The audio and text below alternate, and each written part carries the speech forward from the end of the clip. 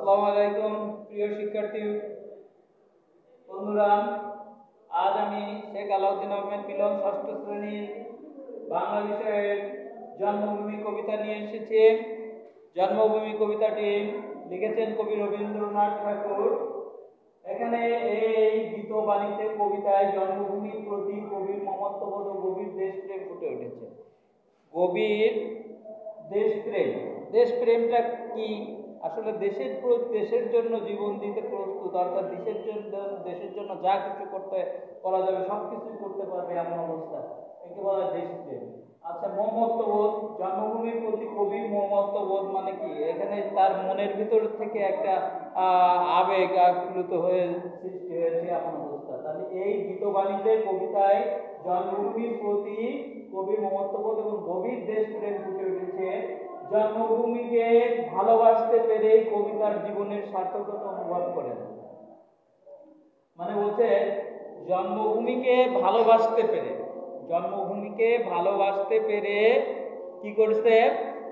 জন্মভূমিকে ভালোবাসতে পেরে কবিতার জীবনের সার্থকতা অনুভব করেছে। কবির জন্মভূমি অজস্র ধনরত্নের আবর কিনা তাতে তার কিছু আসে যায় না। কারণ তিনি এই মাতৃভূমির স্নেহছায় যে সুখ এবং শান্তি লাভ করেছেন, তা অতুলনীয়। জন্মভূমির অপরূপ সৌন্দর্যের ঐশ্বর্যে কবি মুগ্ধ জন্মভূমির প্রতি যে অপরূপ সৌন্দর্যের ঐশ্বর্যে কবি মুগ্ধ। জন্মভূমির বিচিত্র সৌন্দর্যের অফুরন্ত উৎস হচ্ছে বাগানের ফুল, চাঁদের জ্যোৎস্না। সূর্যের আলো, এসব এসব কবির মনকে আকুল করে।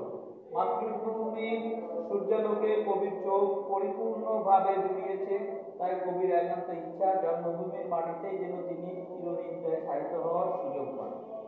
এখানে চিরনিদ্রায় সাহিত্য হওয়ার সুযোগ বলতে কি বোঝেছেন? যখন সে মারা যাবে, তিনি যেন জন্মভূমিতে এসে মারা যায়, তার যে এখানে যে আবেগটা সে কাজ করেছে জন্মভূমির প্রতি, তার যে ভালোবাসা, মমত্ববোধ, এটাই আসলে প্রকাশ পেয়েছে যে সে যখন মারা যাবে, তখন যেন সে জন্মভূমিতে এসে মারা যায়, এই জিনিসটা সে চিরনিদ্রা বলে সাহিত্য হওয়ার বলেছেন যে চিরনিদ্রায় সাহিত্য হবেন যেন সেই জন্মভূমিতে মাতৃভূমির সূর্যালোক। আচ্ছা তো এখানে সব কিছু মিলে আমরা কি বুঝতে পারলাম? সব কিছু মিলে আমরা বুঝতে পারলাম যে রবীন্দ্রনাথ ঠাকুর এই গীত বাণীতে কবিতায় জন্মভূমির প্রতি কবির মম- মমত্ববোধ ও গভীর দেশপ্রেম ফুটে উঠেছে এই কথাটার মাধ্যমে। যার কারণে তিনি বাংলা ভাষা, যে তার মাতৃভূমির প্রতি তার এত আবেগ আপ্লুত হয়ে মানে আবেগ আপ্লুত হয়ে সে নিজেকে বাংলাদেশের জন্য সব কিছু বিলিয়ে দিতে চেয়েছেন। অর্থাৎ বাংলাদেশ বলতে এখানে তার মাতৃভূমিকে বোঝানো হচ্ছে। মাতৃভূমিকে, মাতৃভূমির প্রতি এখানে বাংলাদেশ ঠিক না, তার মাতৃভূমি। মাতৃভূমির প্রতি তার এই মমত্ববোধ জাগ্রত হয়েছে।